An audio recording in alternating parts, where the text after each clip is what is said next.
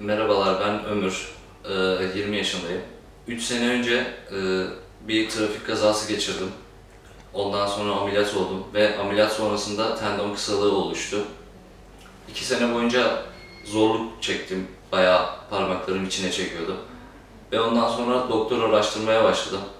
En sonunda Tahir Hoca'yı buldum bir vasıta aracılığıyla. Ve gelip görüştüm, bir hafta sonra ameliyat oldum.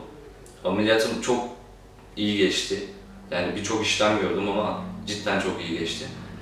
Hani korkularım vardı hani ameliyata gireceğim, ondan sonra ağrılarım olacak vesaire vesaire. Ama hiçbir şekilde ağrılarım olmadı. İki gün hastanede yattım. Zaten e, bir ay içerisinde yürümeye başladım.